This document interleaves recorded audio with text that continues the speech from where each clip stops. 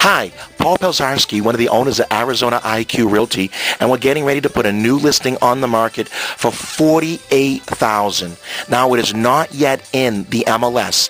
It's currently set up as a two-bed with a den. You could easily increase the value by converting this into a three-bedroom home. The square footage is 1056.